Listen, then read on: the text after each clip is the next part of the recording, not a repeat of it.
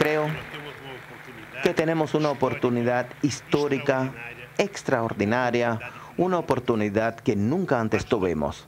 Basta con que creamos de que sí es posible dar un paso más y hacer la América del Sur que todos queremos y que se transforme en una región rica, desarrollada y socialmente justa. Las naciones desarrolladas han dejado de ser el centro dinámico de la economía mundial, que hoy se ha transferido hacia el hemisferio sur del planeta. Pero de una forma u otra, nada está más expuesto a los ojos de los medios de comunicación que un Congreso. Y siempre les digo a todos que hay problemas con el Congreso. El Congreso puede tener todos los defectos que podamos encontrarle, pero no existirá una democracia si no existe un Congreso funcionando.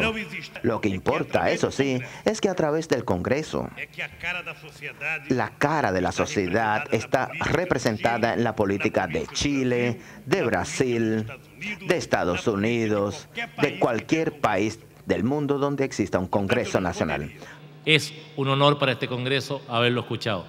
Muchas gracias, presidente, y yo quiero en nombre de la Cámara de Diputados entregarle un presente que hemos preparado junto con el senador Girardi y darle la medalla del Bicentenario del Congreso Nacional por sus 200 años y a su vez entregarle este libro que es su primera edición, que está hecho por la Cámara de Diputados donde usted va a encontrar en sus páginas la historia de 200 años del Parlamento chileno. Muchas gracias, presidente.